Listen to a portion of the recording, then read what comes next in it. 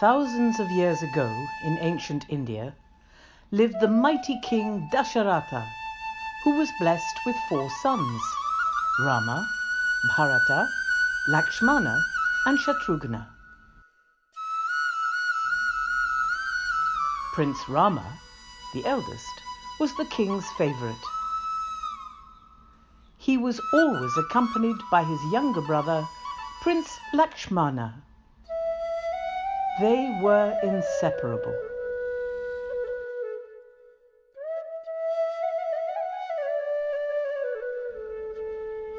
A neighboring king, Janaka, invited kings and princes from across the land to a contest to win the hand of his beautiful daughter, Princess Sita.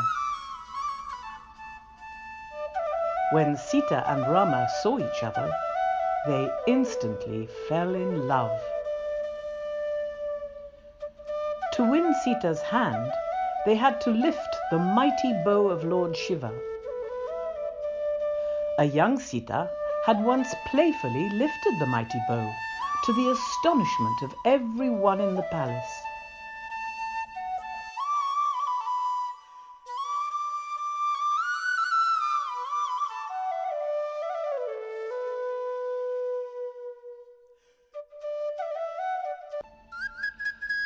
One after the other, the kings and princes tried their luck.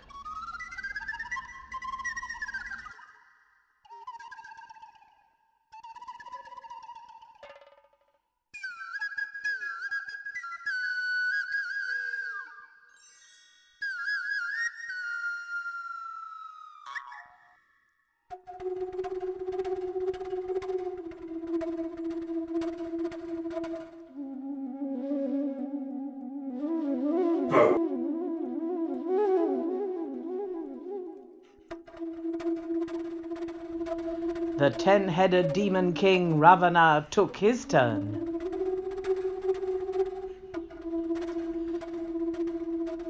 No one, not even the mighty demon king Ravana, could lift the bow an inch.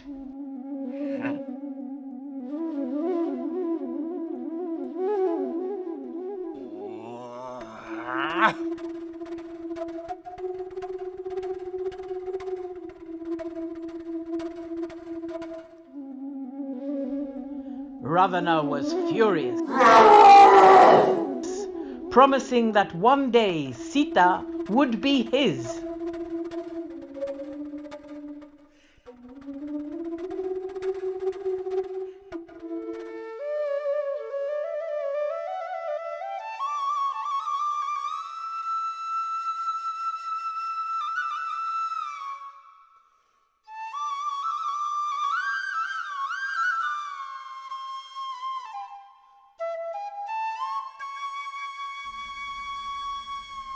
With divine poise, Rama lifted the mighty bow effortlessly.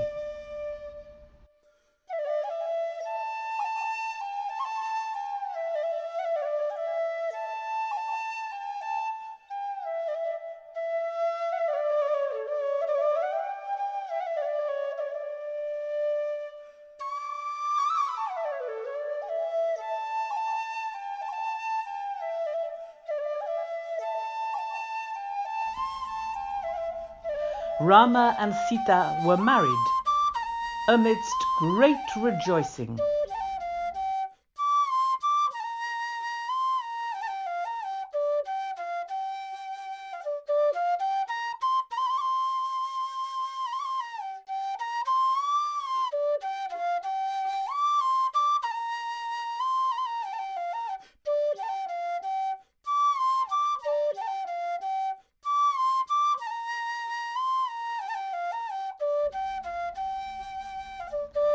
As King Dasharatha grew old, he wished to crown Rama as his heir. But his youngest queen, Kaikeyi, had other plans.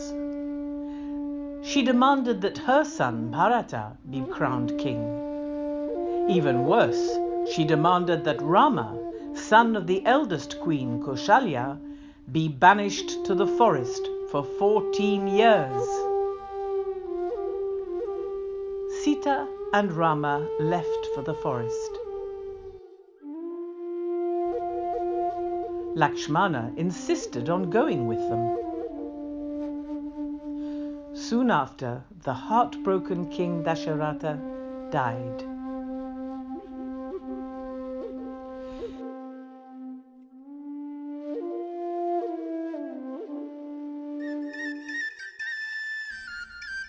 In the forest one day, a maiden came by the hut.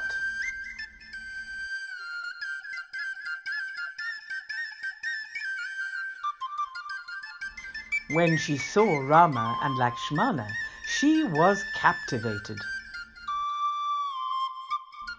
She wanted to marry Rama, but he refused, saying he was already married to Sita. Then she wanted to marry Lakshmana, but he refused too, saying he was there to protect Sita. The maiden rushed to attack Sita. Forced to draw his sword, Lakshmana struck the maiden and cut off her nose.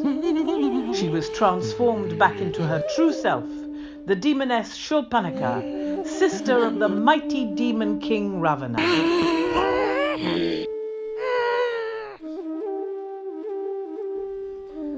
When Ravana saw his injured sister, he was enraged. He disguised himself as a kindly sage. When Sita was alone, he went to the hut asking for food. Namaste, Bhikshandehi, Bhikshandehi. Bhikshandehi. As soon as Sita stepped outside the protection of the hut, the sage turned into the ten headed demon king Ravana. Ravana abducted Sita and carried her away to his kingdom on the island of Lanka.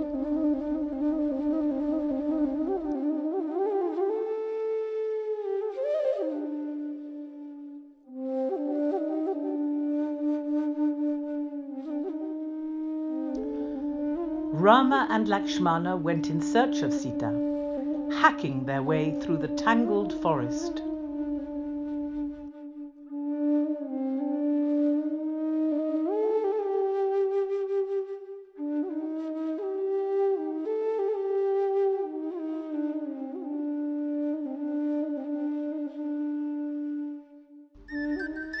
Along the way, they met Hanuman, son of Vayu, god of the wind.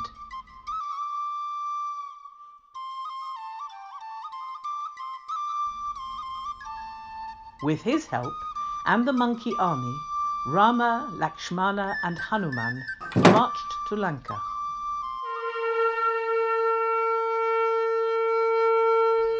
So began the war between the two greatest warriors on earth, Rama and Ravana. One of Ravana's poisoned arrows struck Lakshmana in the chest. He fell unconscious.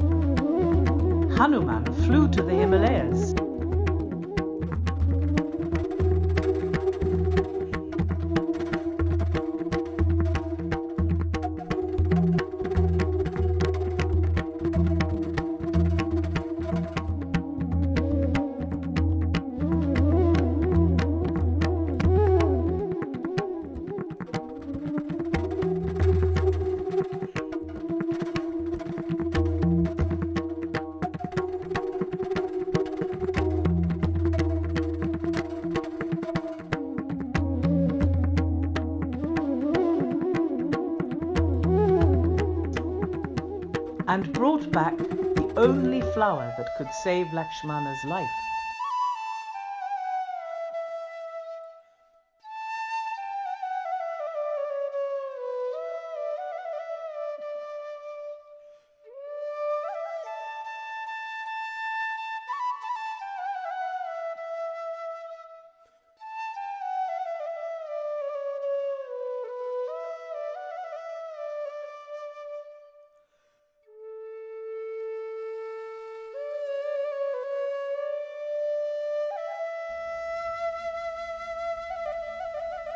Rama was overjoyed.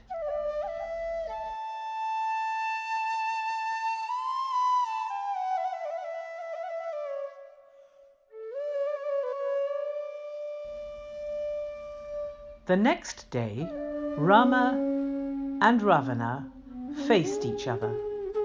The battle between the two greatest warriors on earth was long and fierce.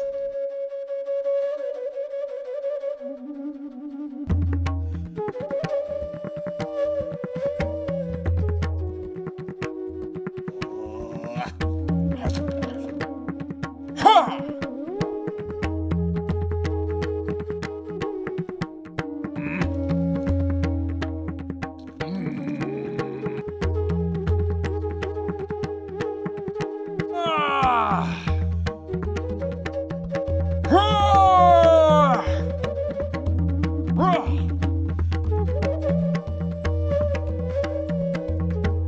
Rama invoked the most powerful weapon in the universe, the Brahmastra. The celestial weapon struck Ravana with such enormous force that he was killed instantly. Rama declared to his army, Show respect to the fallen king Ravana.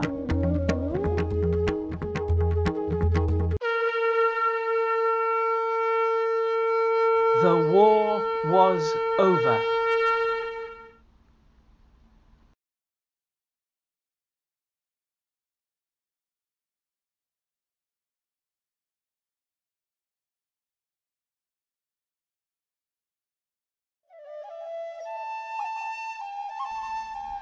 Rama and Sita were reunited.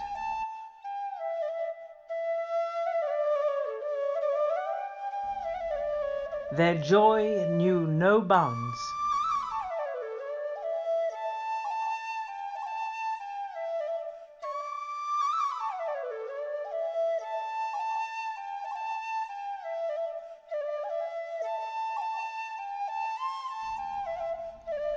Soon they returned to Ayodhya and were crowned king and queen of Kosala.